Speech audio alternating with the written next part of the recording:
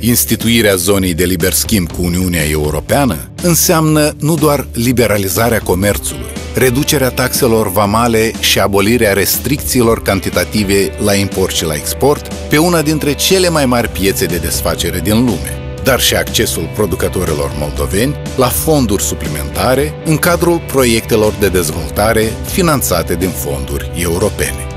Pe banii europeni este realizat cu succes și programul de atragere a remitențelor în economie, PARE 1 plus 1.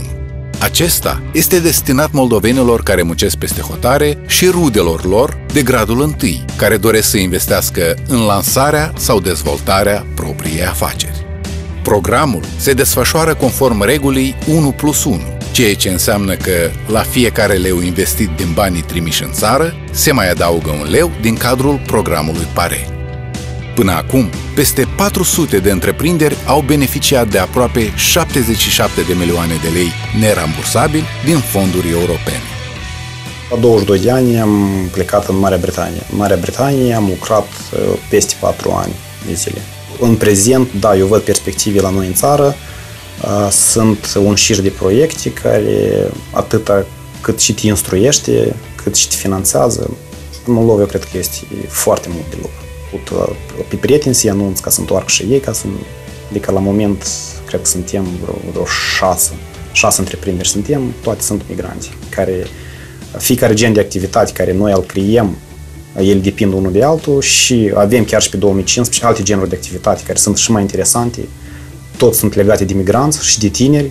Cu suportul Uniunii Europene, în Moldova a fost creată o rețea de incubatoare de afaceri, care funcționează în raioanele Soroca, Ștefan Vodă, Leova, Ungheni, Rezina, Sângerei, Dubăsari și în autonomia Găgăuză.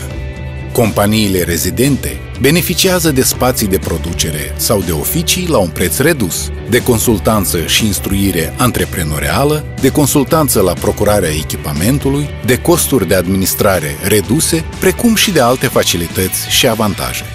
Sunt uh, tehnic, mai mult specialist tehnic și m-a ajutat să-mi dau seama de legislație, de posibilități, de cum merg lucrurile la nivel legislativ în Republica Moldova și am pus la punct repede firma, modul în care ne-am organizat, contabilitatea, deci toate astea ne-au, ne-au ajutat. Perspectivele astăzi sunt uh, mari, pentru că uh, din cauza internetului avem posibilitatea să concurăm la nivel mondial. Adică eu de acasă, din orice sat de Moldova, pot să concurez cu inginerii din New York sau din Washington sau de oriunde din lume.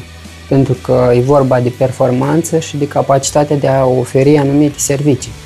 De asemenea, Republica Moldova va putea beneficia în premieră în acest an de fonduri europene nerambursabile pentru susținerea agriculturii în cadrul Programului European pentru Agricultură și Dezvoltare Rurală, NPART. În perioada 2014-2020, fermierii și primarii din Moldova vor putea accesa fonduri în valoare de 120 de milioane de euro.